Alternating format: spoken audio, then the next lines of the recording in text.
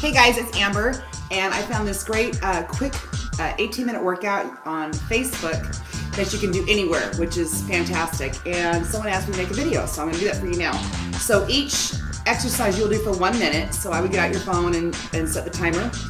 And then you will take a, like a 10 second break in between to go to the next exercise. And you you wanna repeat it three times. So it should be a total for 18 minutes. So first you're gonna start with squats. You want to make sure that your feet are shoulder width apart all the way to your heels. Squat down and up.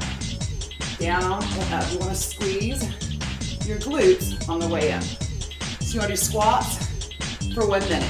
Then comes lunges. You want to lunge forward. Drop that back knee straight down. Bring it up. Lunging forward. Okay. Uh, next is push-ups. So you can, you can see me you can be on your toes, down and up. You need to be on your knees, that's fine. Make sure your booty is not up here.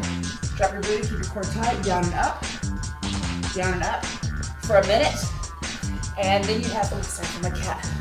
You have a bridge, which is great for your behind. So you want to lay your back, push your hips all the way up, squeezing your glutes. You want to hold that for a minute. And last is a plank which you can be on your hands or on your elbows. Just make sure you're directly with your shoulders. If you need to be on your knees, that's fine, but make sure you have to be there. And make sure that your core is tight.